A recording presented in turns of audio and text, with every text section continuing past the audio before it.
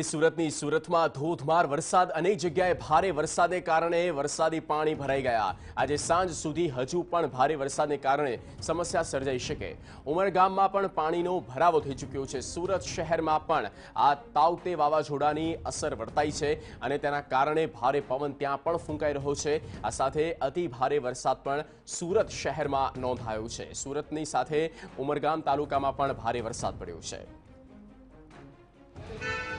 તાવતે જે વાવાઝોડું છે તે ગુજરાતની અંદર પ્રવેશતાની સાથે જ અનેક જિલ્લાની અંદર તબાહી મચાવી છે કારણ કે દરિયા કિનારેથી જ્યારે ગુજરાતની અંદર જ્યારે રાત્રિ દરમિયાન જ્યારે પ્રવેશ કર્યો હતો ત્યારે કહી શકાય છે ભારે પવન અને જે વરસાદના કારણે અનેક નુકસાન થયું છે. જોઈ શકાય છે સુરત અને સુરત જિલ્લાની, ત્યારે સુરત સિટીની વાત કરવામાં આવે તો સુરત સિટીની અંદર પણ અનેક જે નુકસાન થયું છે.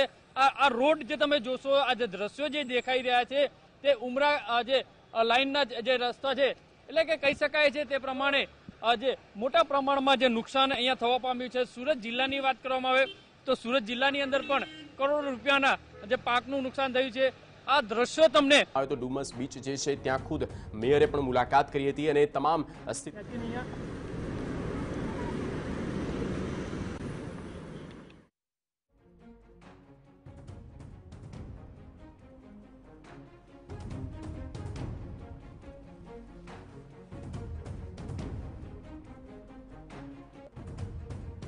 સુરતમાં ધોધમાર વરસાદની શરૂઆત થઈ. સ્વાભાવિક છે કે તાવતે વાવાઝોડું કે જ્યાં દર- દીવ અને ઉના પર એક રીતે હિટ કરી ગયું ત્યાં ટકરાયું છે અને ત્યારબાદ અ, પવનની ગતિ પણ સુરતમાં વધી ચૂકી છે અને ભારે વરસાદ પણ ત્યાં પડી રહ્યો છે. અને તેના કારણે જે પણ નુકસાન થયું છે તે જે તારાજી ઊભી થઈ છે તેના દ્રશ્યો આ આપની સ્ક્રીન પર છે.